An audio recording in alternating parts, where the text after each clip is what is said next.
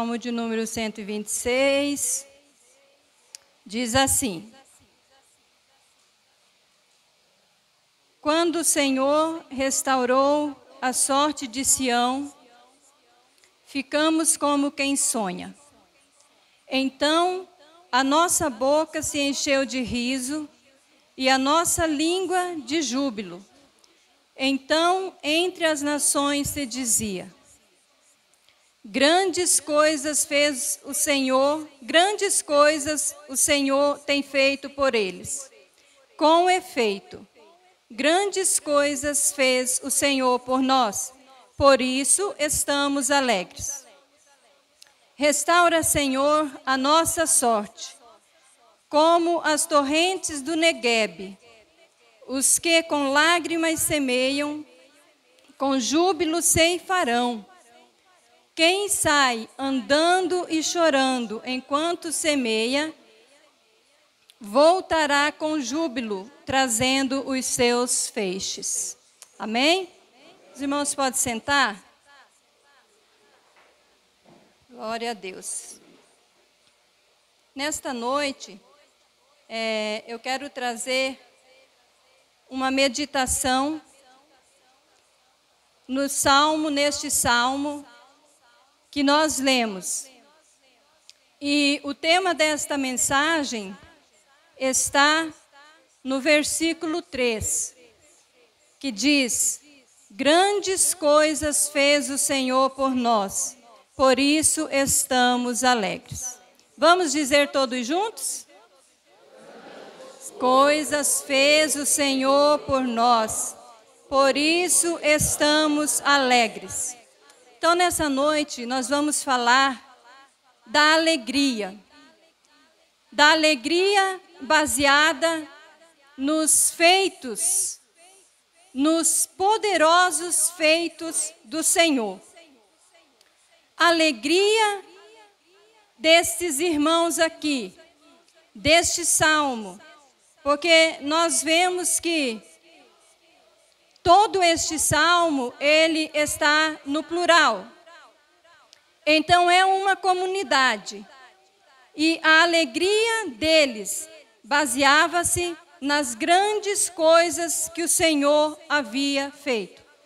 Né? Nós vemos aqui os verbos, é, eles são plural, né? Quando o Senhor restaurou a sorte de Sião, Aí diz: ficamos como quem sonha, é, a nossa boca, e grandes coisas fez o Senhor por nós.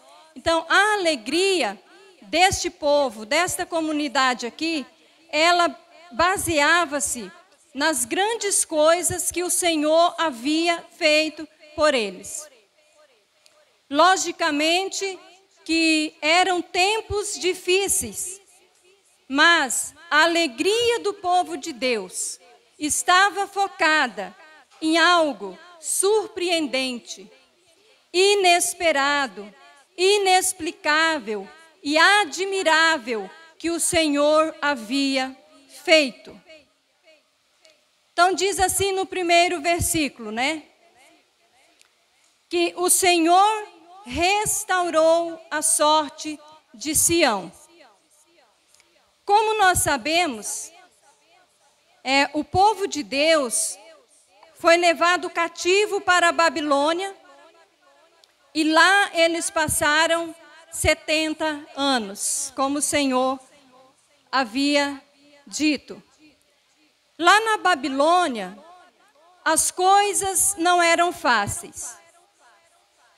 Embora eles tivessem ali se estabilizado como o Senhor os orientou, né? Dizendo a eles que, até eu preguei não faz muitos dias, né? Eu falei sobre isso. E o Senhor disse para eles que eles deviam construir ali suas casas, é, formarem as suas famílias, viverem uma vida normal. Mas mesmo assim, mesmo eles tendo ali se estabilizado, para aqueles que eram fiéis ao Senhor, os dias eram de tristeza, angústia e saudades de Sião. nós vemos o Salmo de número 137. Abre aí, irmãos. Abre aí a sua Bíblia. No Salmo de número 137, descreve uma situação de profunda tristeza e desesperança. Salmo 137, ele diz: As margens do rio, dos rios da Babilônia, nós nos assentávamos e chorávamos, lembrando-nos de Sião. Nos salgueiros que lá havia, pendurávamos as nossas harpas, pois aqueles que nos levaram cativos nos pediam canções, e os nossos opressores, que fôssemos alegres, dizendo: Entoai-nos algum dos cânticos de Sião. Como, porém, haveríamos de entoar o canto do Senhor em terra estranha? Se eu de ti me esquecer, ó Jerusalém, que se resseque a minha mão direita, apegue-se a língua ao paladar, se não me lembrar de ti.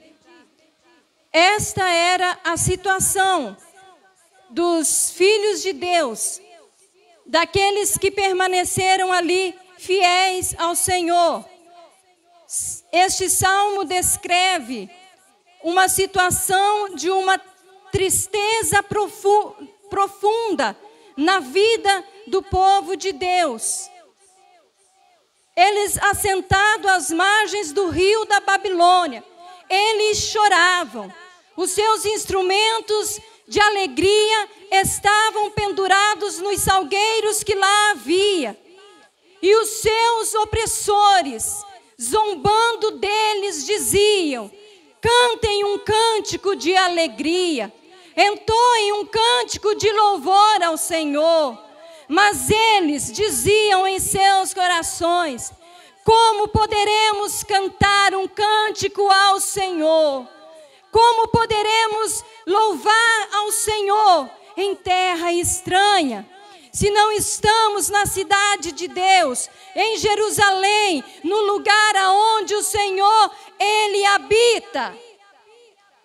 Os seus opressores pediam que eles cantassem, especialmente aquelas músicas, aqueles hinos que falavam da grandeza de Deus e da proteção que eles tinham no templo, como uma cruel zombaria.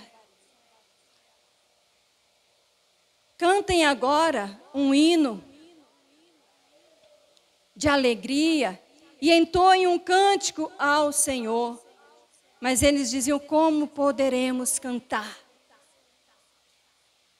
Se a razão da nossa vida, se a razão da nossa existência é adorar ao Senhor, e os irmãos sabem que naquela época a adoração a Deus, ela era feita em Jerusalém. Jerusalém era o lugar onde Deus habitava. E eles choravam, irmãos, de saudade de Sião, de saudade da casa de Deus, da presença de Deus, ali sendo zombados por aqueles que os levaram cativos. Esta era uma, a situação em que eles se encontravam. Mas, de repente, o cenário foi mudado. De repente, Deus mudou aquela situação. Deus transformou a tristeza em alegria. Amém? Deus transformou a tristeza em alegria. Então, volte no Salmo de número 126. Aquele cenário foi mudado. Deus mudou aquela situação, Deus mudou aquela história. Então eles disseram: quando o Senhor restaurou a sorte de Sião, ficamos como quem sonha. Aleluia, Jesus. O ato de Deus em libertá-los foi tão maravilhoso poderoso, admirável, que eles ficaram como quem sonha. Sabem como que é a cara de quem sonha? Como que é? Ficamos como quem sonha. Como assim? Do nada? Como que isso aconteceu? Como que isso foi realizado? Eu não posso nem acreditar. Como? De que maneira? Meu Deus, como isso aconteceu? Um espanto bom, irmãos. Um espanto maravilhoso, de alegria. Estava agora estampado na face do povo de Deus. Eu nem consigo acreditar nisso que está acontecendo, mas eu sei que agora eu ouço uma voz que diz: pode ir, vocês são livres. Eu ouço uma proclamação que diz: vocês são livres, mas como isso pode acontecer? Eu nem sabia, eu nem posso acreditar.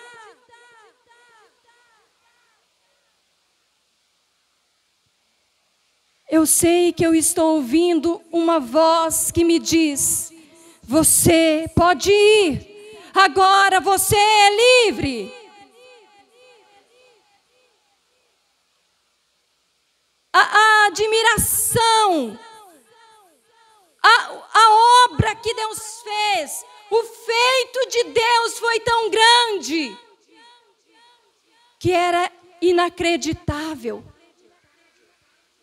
É como que uma pessoa estivesse doente, mas muito, muito, muito doente. E ela fosse curada. Ô, irmã Regiane, eu lembrei de você quando eu estava preparando essa mensagem.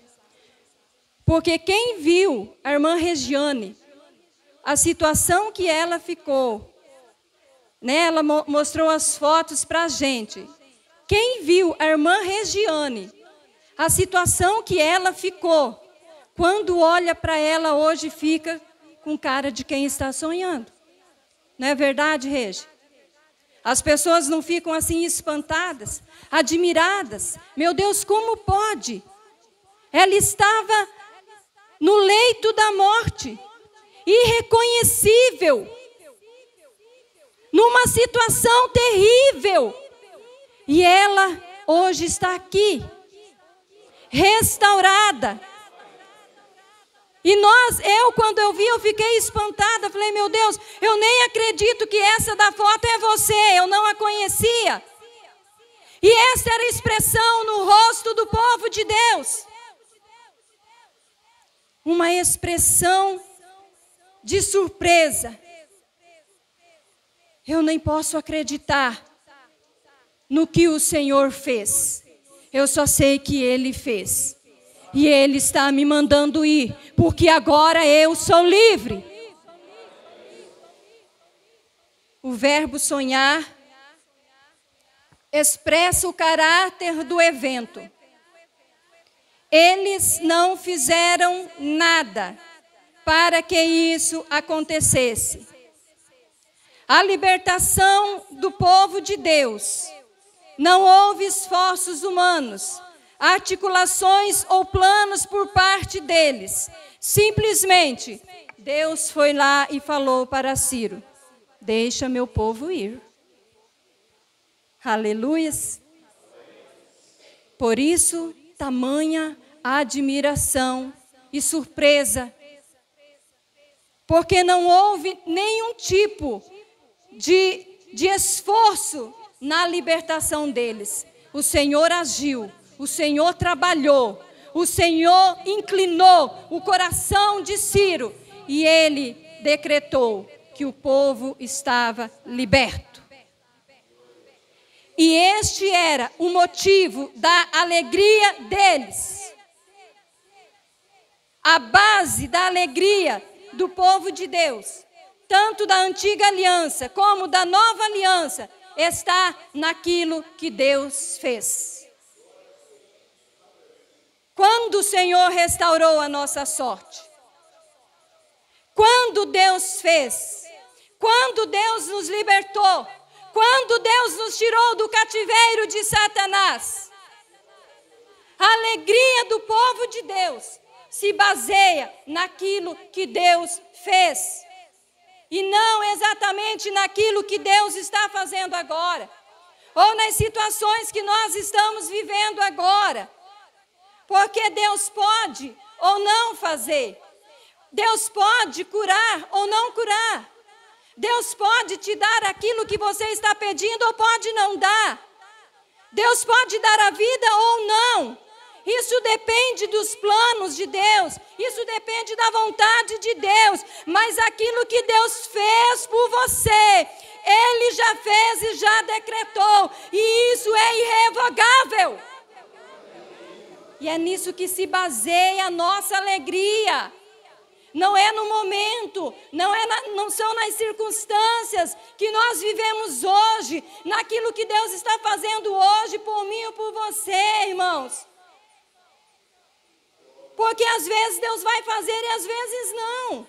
Às vezes Deus vai curar, às vezes Deus não vai curar. Às vezes Deus vai abençoar ou Deus, e Deus não vai abençoar. Mas aquilo que Deus fez por nós, Ele já fez. E nada pode mudar isso. Ele já decretou a nossa libertação, a nossa saída do cativeiro de Satanás. E isso é irrevogável. Ninguém pode mudar. Ninguém pode mudar isso. A palavra de Deus diz que Ele te abençoou com toda a sorte de bênção espiritual. Ele já te abençoou.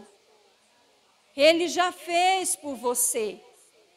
Ele te abençoou com todas as sortes de bênçãos espirituais.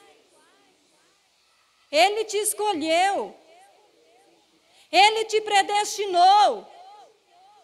Ele te elegeu. Ele te deu a redenção. Ele te remiu. Ele te justificou. Alguma coisa pode mudar essas bênçãos?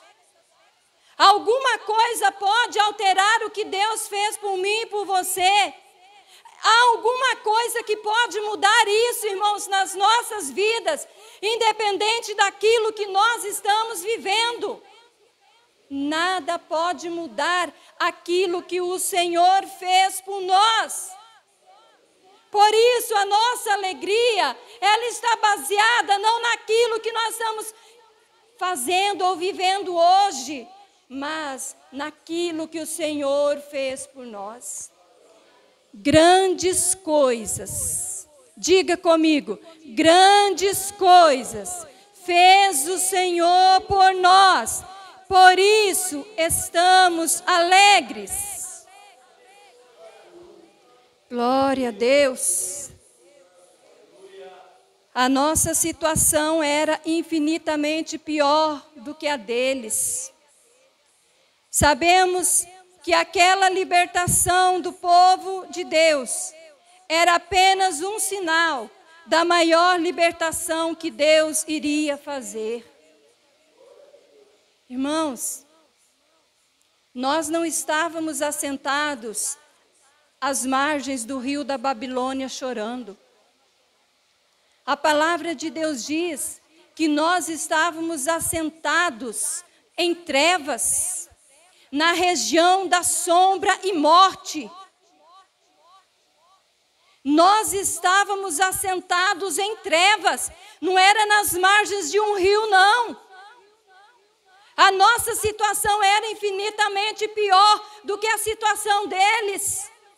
Nós estávamos assentados, algemados, acorrentados pelo nosso opressor, pelo nosso adversário, era nas regiões da sombra e da morte.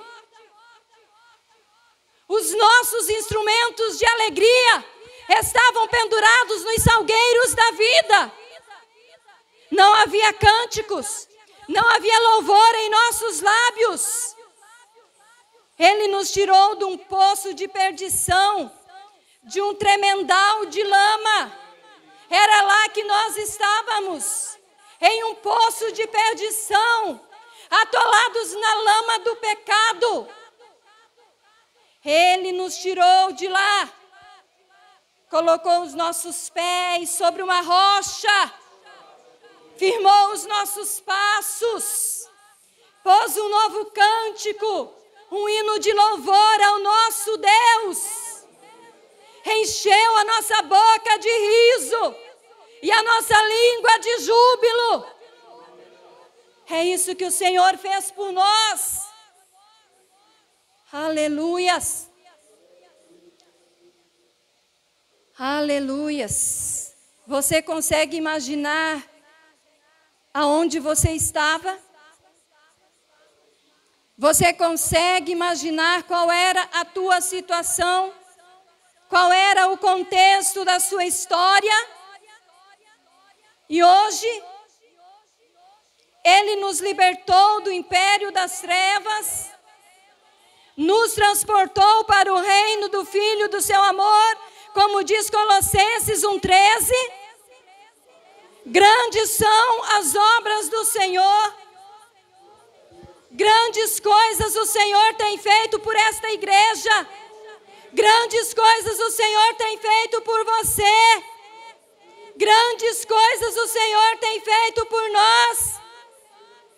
Não há espaço para ingratidão.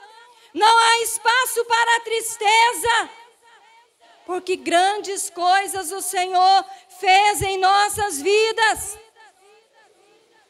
Isso deveria nos deixar com cara de quem sonha, mas muitas vezes nós estamos mais com cara de quem está tendo um pesadelo do que quem sonha, irmãos. Porque as nossas lutas são reais, as nossas dores são reais, as nossas angústias são reais, as nossas aflições são reais, e elas vêm sobrecarregando a nossa vida, ela vem sobrecarregando o nosso semblante, ela vem nos abaixando, nos fazendo olhar para baixo. Mas quando nós focamos naquilo que Deus fez por nós, nós levantamos o nosso rosto, o nosso olhar para Cristo, para a eternidade, para além deste mundo. Então, nós sorrimos, nós nos alegramos, porque nós sabemos que aquilo que o Senhor fez por nós é muito maior do que qualquer coisa que nos faça chorar aqui neste mundo, aqui nesta vida. E muitas vezes nós nós vamos nos abatendo e aquela expressão de quem sonha vai desaparecendo da nossa face, do nosso rosto. Mas nessa noite Deus está falando para você. Nós vivemos em tempos de tantas tristezas. Nós vivemos em, em meio a, a tantos males cercando as nossas vidas o tempo todo tragédias, doenças, coisas ruins acontecendo o tempo inteiro ao nosso redor e muitas vezes até mesmo nas nossas vidas, nas nossas famílias. Mas nessa noite Deus está falando para você. Foque no que Deus fez, porque nos planos de Deus, no pensamento de Deus, tudo já está concretizado.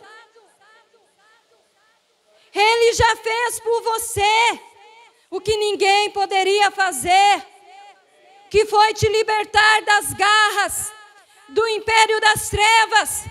Quando Jesus entrou na casa do valente, amarrou ele, saqueou os seus bens. Ninguém podia fazer isso, irmãos.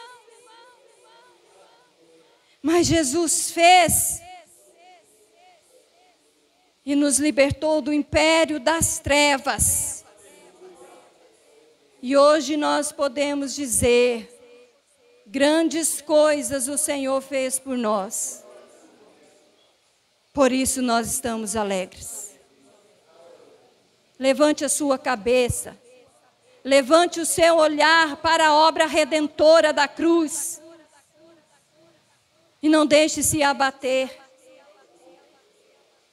pelas dificuldades. O versículo 4, ele diz: Restaura, Senhor, a nossa sorte. A segunda parte deste salmo expressa uma oração de restauração. Há divergências deste versículo entre os comentaristas, mas nós vemos aqui que o verbo aqui está no presente. É uma oração no tempo atual. Restaura, Senhor, a nossa sorte. A maioria então dos comentaristas afirma que eles oravam para que Deus concluísse a restauração, trazendo aqueles que ainda estavam na Babilônia. Como sabemos, a volta do cativeiro se deu em três etapas. A primeira foi com Ciro, quando a primeira o primeiro grupo de judeus regressaram. A segunda com Dario, e a terceira com Artaxerxes. Então, aquele primeiro grupo que saiu, eles oravam para que o Senhor concluísse a obra de restauração e trouxesse também aqueles que haviam ficado ainda lá na Babilônia e para que o Senhor trouxesse todos os judeus espalhados por todos os lugares. Esta era a oração que eles faziam, mesmo tendo sido restaurados, como diz no versículo primeiro que nós lemos, quando o Senhor restaurou a nossa sorte. Agora novamente eles oram: restaura, Senhor, a nossa sorte. Conclui, Senhor, esta obra. Traga também aqueles que lá ficaram, para que também estejam aqui, neste lugar, aonde o Senhor tem nos dado como herança para viver. Embora restaurados, eles ainda almejavam mais. Eles pediam que o Senhor restaurasse por completo aquela nação. E que os demais judeus também regressassem à sua pátria. A, a restauração deles se deu por etapa, até que se completaram os 70 anos, quando o último grupo de judeus chegaram a Jerusalém completaram-se 70 anos de cativeiro. Então, a restauração foi por etapas.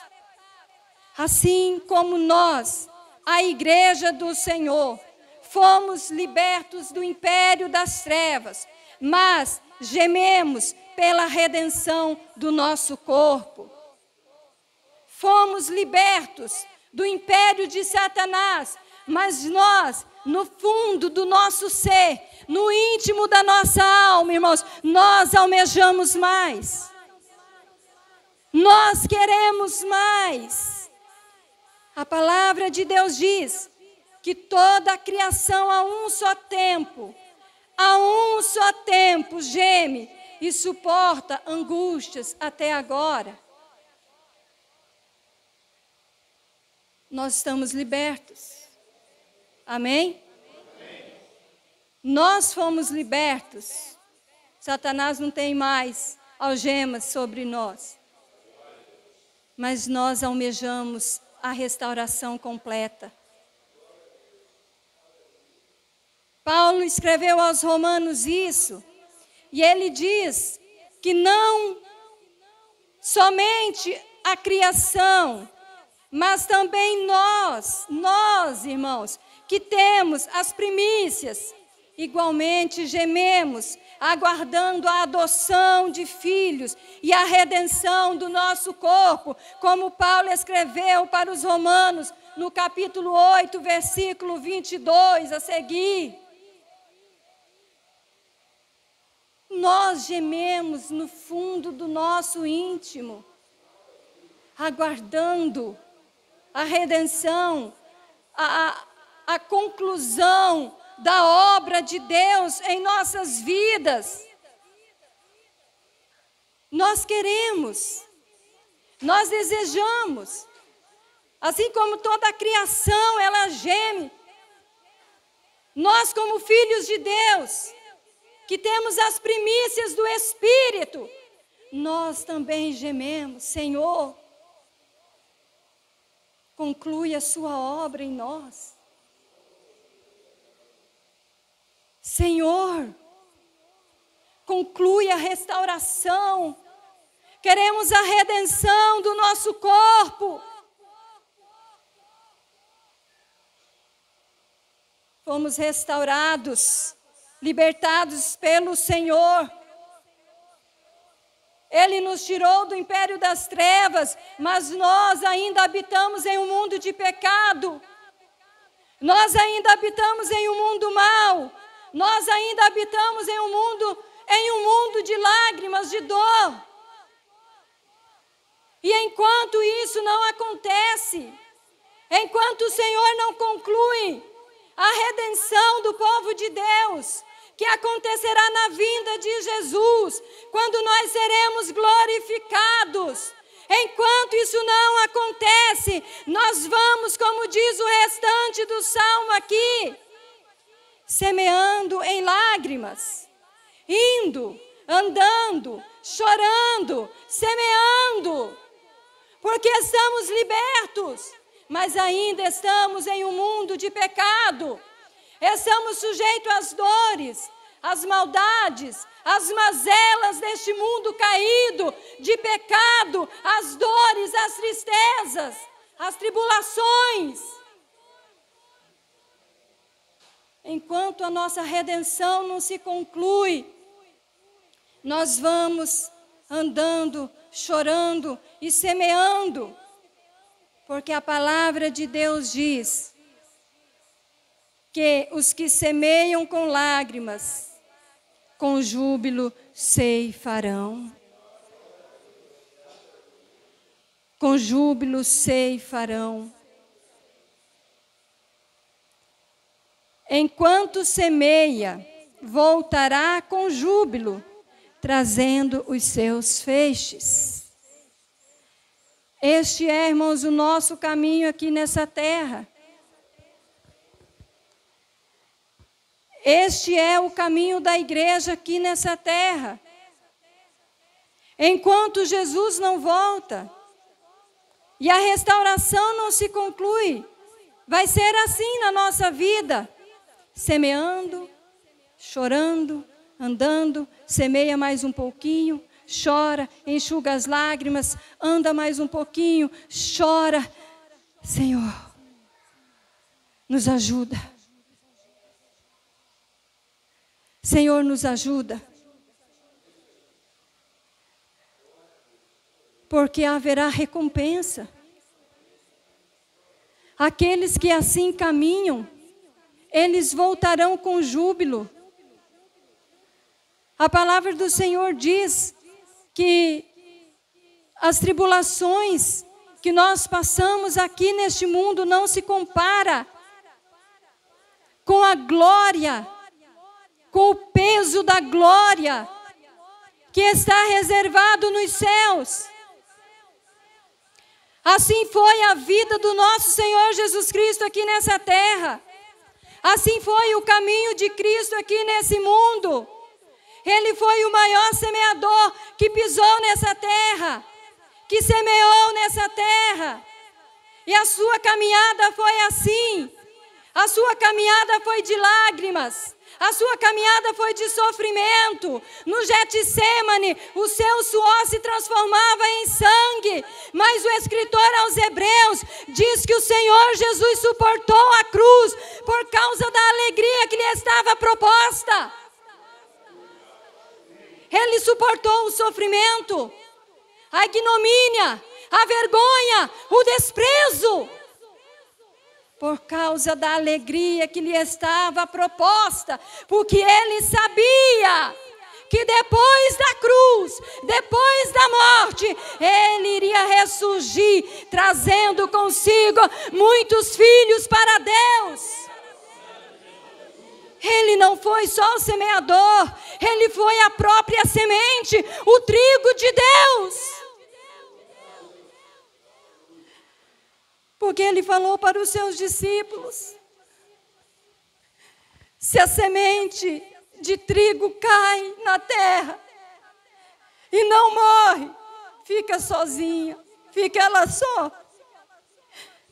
Mas se ela morre, ela traz muitos feixes. Aleluia. Cristo morreu ele é o trigo de Deus. E quando ele morreu, ele suportou a cruz, porque ele sabia que ele ia ressurgir com muitos feixes, que somos nós, eu e você. A igreja é o fruto do penoso trabalho de Cristo. E quando ele olha hoje para a igreja, ele se regozija. E essas promessas o Senhor tem para nós também. Esta promessa o Senhor tem para nós também. Que para o lugar que Ele vai nos levar, nunca mais haverá lágrimas, nem tristeza, nem dor, nem angústia e nem sofrimentos. Eu quero concluir esta mensagem, queridos irmãos. Grandes coisas fez o Senhor por nós por isso nós estamos alegres. Mas como pode alguém ir chorando, semeando entre os espinhos e estar alegre? Como pode isso, irmãos? É porque a nossa alegria, ela está focada no que o Senhor fez. Isso nada vai mudar o que o Senhor fez por mim e por você. Nada pode mudar a nossa restauração nos planos de Deus já é consumada. Assim, talvez os judeus não soubessem que a deles também estava. Que Deus iria trazer os judeus, todos eles,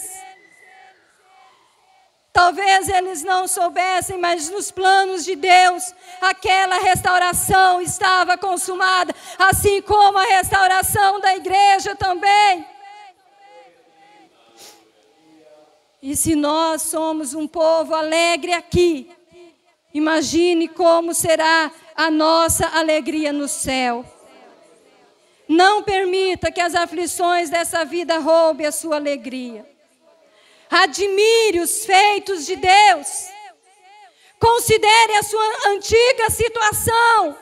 Quando você estava sentado nas trevas, na região da sombra da morte, e veja onde você está sentado hoje, nas alturas, está sentado com Cristo nas regiões celestiais. Admire a obra de Deus as grandes obras que o Senhor tem feito. E vá para a sua casa hoje com cara de quem sonha, admirando a grandeza dos feitos do Senhor. E ciente que eu e você, irmãos, não fizemos nada para que esta obra acontecesse. Isto é maravilhoso demais. Se coloque em pé nessa noite. Eu quero passar a palavra para quem for aqui fazer o encerramento e já fazer esta oração final com a igreja, com vocês. Não deixe que as tristezas venham, venham sufocar a alegria do seu coração. Amém?